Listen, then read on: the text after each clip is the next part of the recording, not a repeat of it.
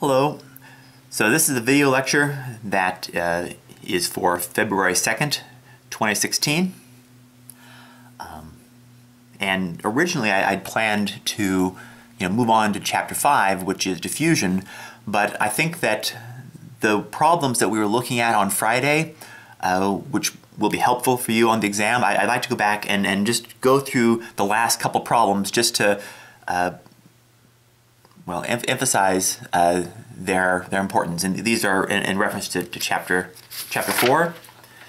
So that the last problem we looked at in class was problem. excuse me. Was problem uh,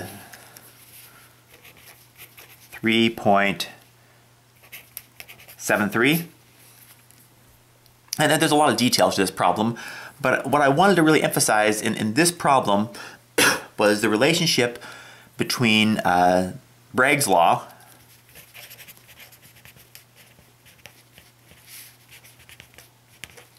which is n lambda equals 2d, and that's dhkl, sine theta, and the d spacing D, H, K, L.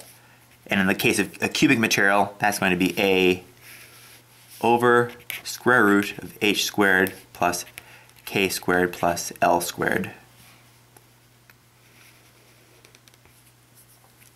Right? And the way this problem was set up is that you were given some set of diffraction intensities versus 2 theta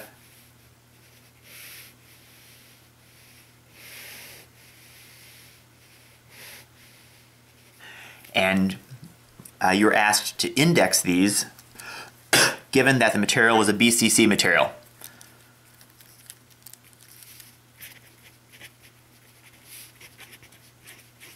So given that it's BCC and, and looking at your textbook, that tells you that uh, it has to obey the rule that H plus K plus L must be an even number, which means that allowed numbers are going to be things such as uh, 1, 1, 0, because 1 plus 1 plus 0 is equal to 2, 2, zero zero two one one two equals four, etc., etc., etc. So, uh, in part, uh, you now have this list, but then the question is, how do these compare to this? Well, you have Bragg's law, and from Bragg's law,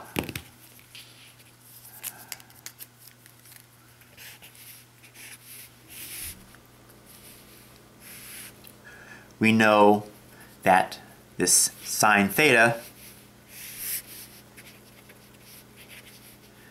is equal to n lambda over 2d. So that means that we want uh, the d spacing to be as large as possible for uh, this to be as small as possible, right? So for example, uh, let, us take the example D uh, 110, which gives us A over square root 2 versus D, let's say, 4 four, four, which gives us a over what, square root of 16, so 3 times 16.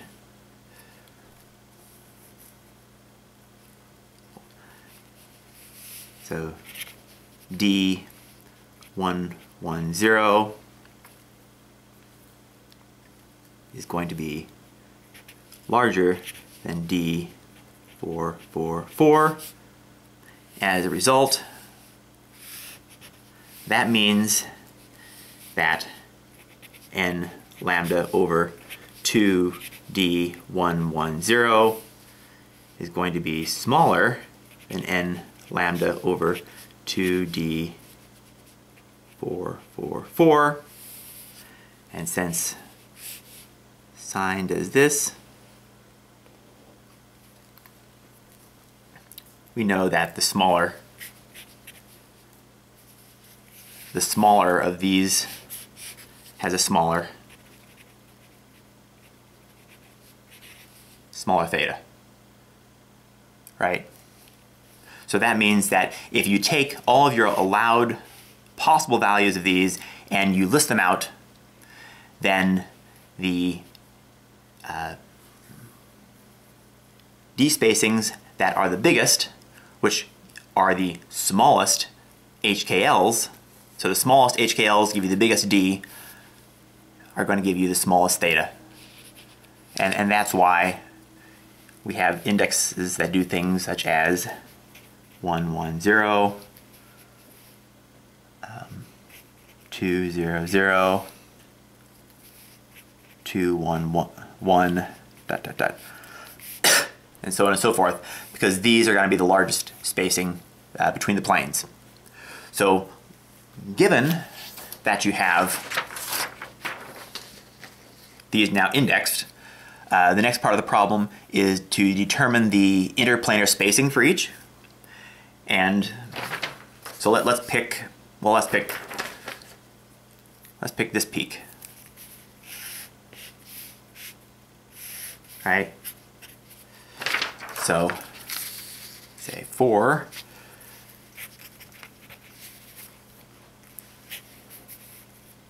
one one zero.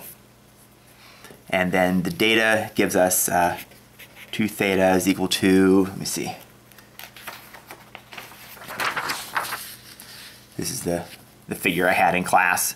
That's around 40 right that means theta is equal to 20 degrees. And we can say n lambda is equal to 2d sine theta. So we now have a value for theta. Uh, lambda was given in the problem, and that was uh, 0.1542 nanometers. N is going to be an integer. N is equal to 1, 2, 3, dot, dot, dot. Um, and in real X-ray patterns, you'll sometimes see uh, reflections or diffraction coming from these higher ordered N's, but uh, typically N equals 1 is going to have the, the highest intensity and is going to be the, the signal that you're looking at. So we're going to let n equal 1 here, which means that we can now take this and we can solve for d. d 110 is equal to n lambda over 2 sine theta. And that's going to be 0 0.2244 nanometer after you plug in all of the uh, appropriate values.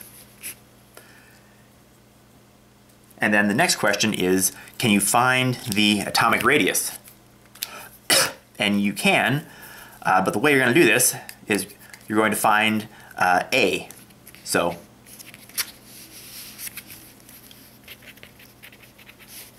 find A. So we have uh, 0.2244 nanometers is equal to D110 is equal to A over square root of 1 squared plus 1 squared plus 0 squared. And that allows us to find uh, A so A is equal to 0 0.2244 times square root of 2. And this is in uh, nanometers. But then we also know that we're looking at a BCC crystal, which means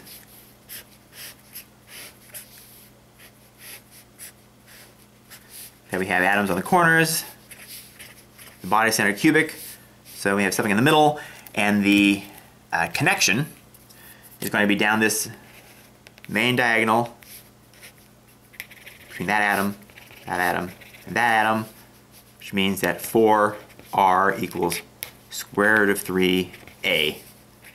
And each of these sides is a, which means that a equals 4 over square root of 3r. So we can substitute this into that.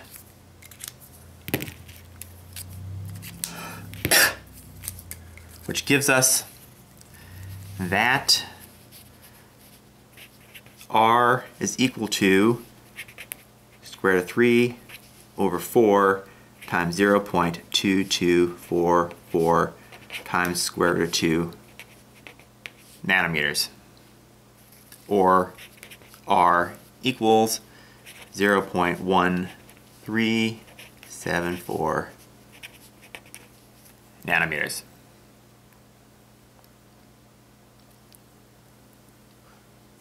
Okay. So this is a problem that I, I find uh, nice.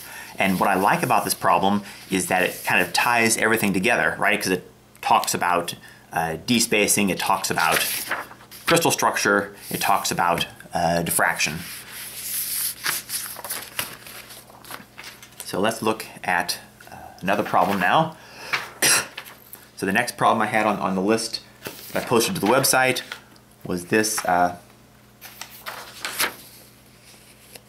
I don't know if you can see this. Let me zoom in. Problem uh, 4.1. So problem 1.4, uh, 4.1 is uh, about calculating the equilibrium fraction of lattice sites that are uh, vacant in silver. So uh, if you're given the equilibrium fraction of sites, uh, calculate the number of vacancies per cubic meter at 700 degrees Celsius. And you're given uh, a density for silver.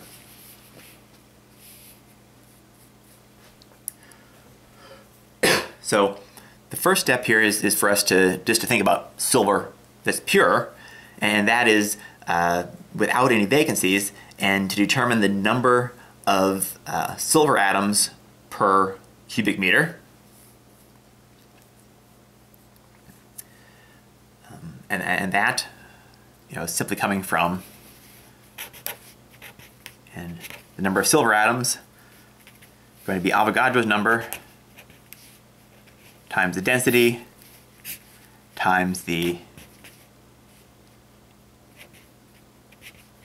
uh, atomic mass, right? Because this gives us uh,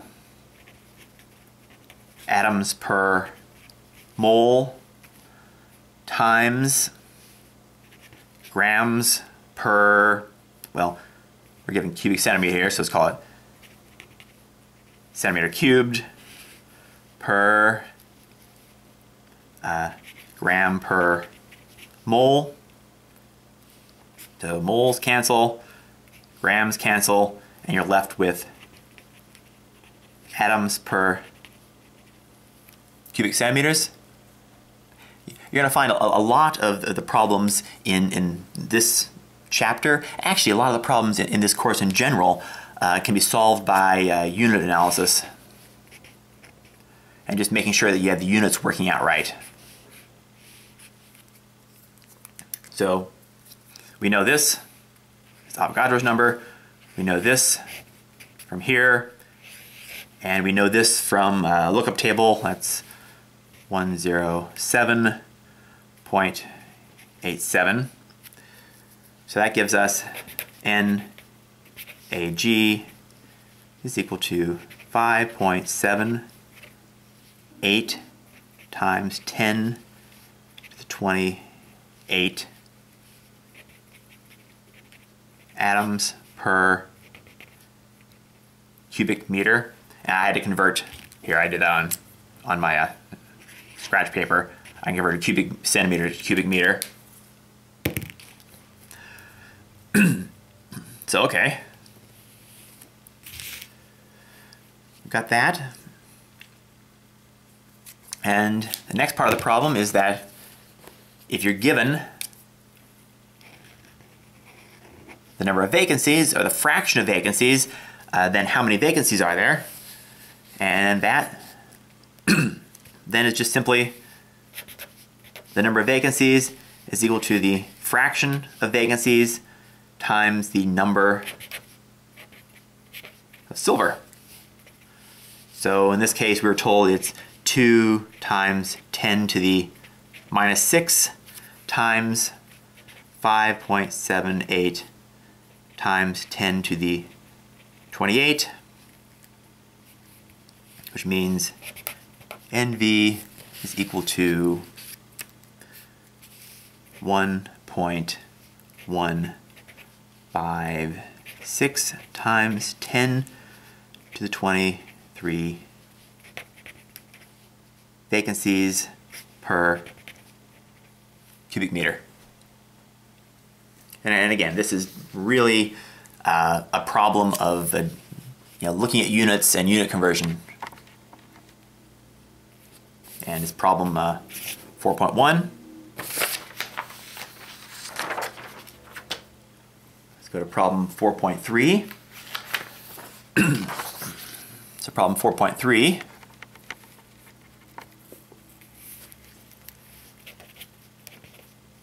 and you can, I don't know if you can see this, but uh, on my little screen it's not so clear, but you, you can look this up, it's in your book. Uh, this problem says to calculate the fraction of atom sites that are vacant for copper at its melting temperature, uh, and they give you the melting temperature, and assume that the energy of formation is 0.90 electron volt per atom, uh, which is, is reasonable. Um, I, I, mentioned to you before that electron volt is a unit of energy, and you can think of a, a unit of energy, uh, an electron volt, to be around one electron volt per uh, atom or one electron volt per you know, atomic bond or set of atomic bonds that are broken, and that's what this is. Uh, part B is to uh, reperform the calculation at room temperature, and then to talk about the ratio of the number of vacancies at, at the two, and, that part is well, you just divide the, the two answers. But let's, uh, let's, let's do this. So to do that, we have to use the Arrhenius relationship that we, uh, that we looked at in class.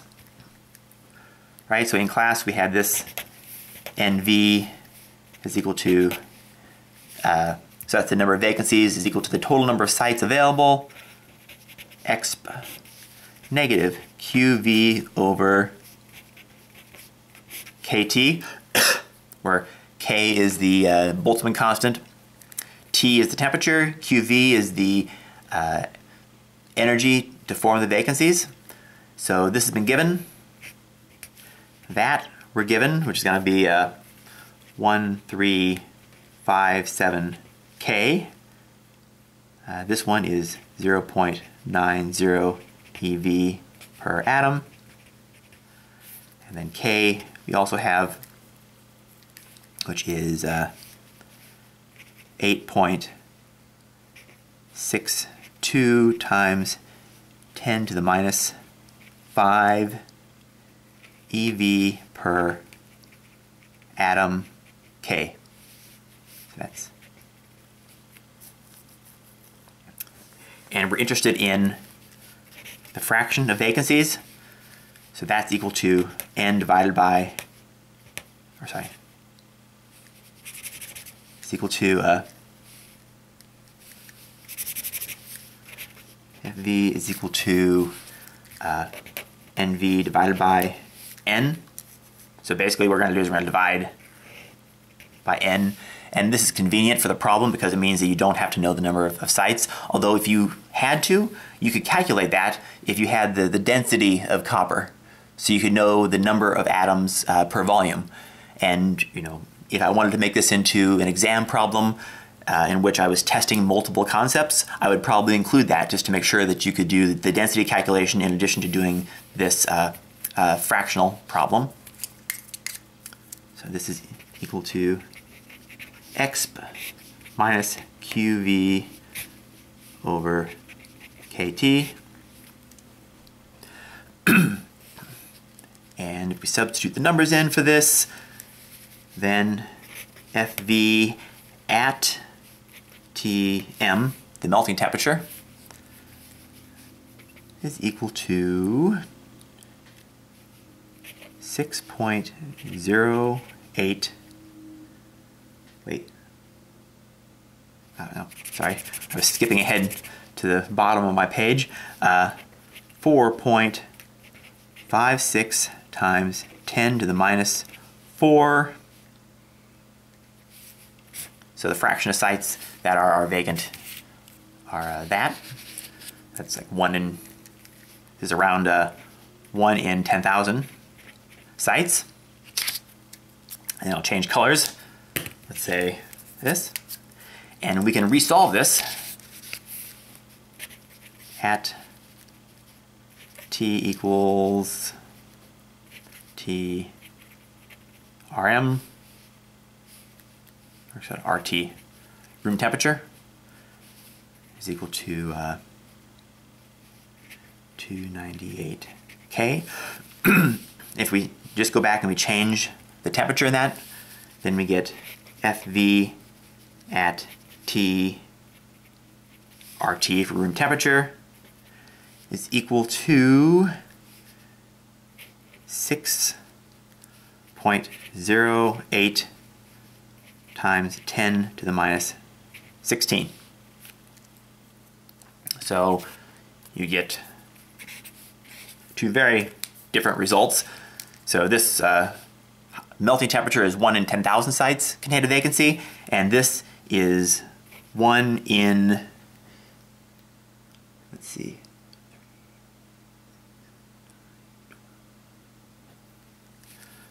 one zero zero zero zero. Zero zero zero. Zero zero zero. Zero zero zero zero zero zero. So that's three, six, nine, twelve, fifteen. So one out of this number, which I don't really know the prefix for it, uh, are going to be vacant in equal at, at equilibrium.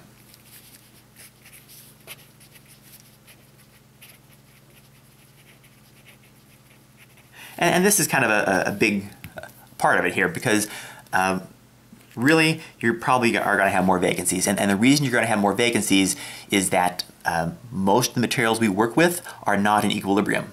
So it's something that you know you heated it up, you did some processing, and then when you cooled it down, uh, you froze in some of, of, the vacancies. So you'll actually have uh, higher concentration vacancies than than equilibrium. Uh, it's, it's a metastable structure that's that's really is what material scientists do. We don't necessarily work well. We rarely work with the true ground state. Most of the time, we're actually working with um, a structure that's that's metastable because it allows us to uh, create materials that are, are useful. That's a problem. Uh, let's move on to This is uh, 4.14. and in 4.14, uh, this question asks, what is the composition in atom percent of an alloy that consists of 5.5 uh, weight percent lead and 94.5 weight percent uh, tin. So this is a problem of converting from atom percent to weight percent. And we talked about this in class in terms of having two ways to discuss uh, composition and, and how those are useful, right? We find that, that weight percent is more useful uh, when you're dealing with processing, and and we find that um, uh, mole percent or, or uh, atomic fraction to be more useful uh, for people who are thinking about things chemically because you can work directly with the chem chemical equations. So your textbook uh, actually has a whole little subsection in it in, in which they talk about this conversion and basically uh, this is about identifying the, the proper uh, equation to use. Um, and that equation is this. And I, I, can't remember the number from the textbook, but it's uh, this is the uh, atomic fraction of lead is equal to the weight fraction of lead times the uh, atomic uh, mass of tin divided by C PB plus CSN APB times 100 because it's asking for a percentage. Um, again, that's, that's something that in practice, um, most of the time people don't work with percentages, they usually work with fractions, but uh, if you're ever asked to re report percentages, for example, on a, a report for work, uh, just make sure you multiply everything by 100. And substituting in, uh, given uh, APB is equal to 207.2 and ASN is equal to 118.71. Uh, and this is from a, a, a, table. You get CPB prime, the fractional, uh, the atomic fraction of, of lead is equal to 3.23 percent. And uh, another convention that people sometimes use is instead of this, they might say AT percent for atomic percent. and then in a very similar fashion, we can write CSN prime is equal to CSN A PB divided by C S N A P B plus C P B A S N times 100 and get CSN prime is equal to, well, you already know what that is because it has to be has to add up to 100, but 69.77 atomic percent. So kind of a big thing here is to just to recognize that these are, are uh, two different sets of units and then they're if you don't pay attention to it, uh, you can have uh, mistakes, uh, and some of the sometimes fairly significant mistakes. And then I, I picked another problem here that is uh, the opposite direction. So now we want to convert from weight percent to uh, to weight percent from atomic percent. And, and again, this is just uh, an equation. And your textbook has these as CCU is equal to CCU prime. So this is the uh, weight percent and the prime is going to be specifying the atomic percent times the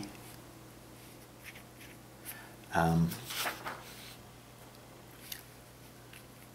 uh, atomic mass of uh, copper divided by CCU prime ACU plus CPT prime A PT times 100 and using ACU is equal to 63.55 grams per mole and A platinum is equal to 195.08 gram per mole. Putting substituting in that, and here we got uh, five atomic percent Cu and 95 atomic percent Pt. We get CCU is equal to 1.68 WT percent for weight percent uh, copper. and then, let's see if does gold show up on this camera? Yeah, okay. Then we can also solve CPT, weight percent of platinum is equal to CPT, the atomic uh, fraction of platinum times the ma atomic mass of platinum C P T prime A P T plus C uh, C U prime A C U is equal to 98.32 weight percent.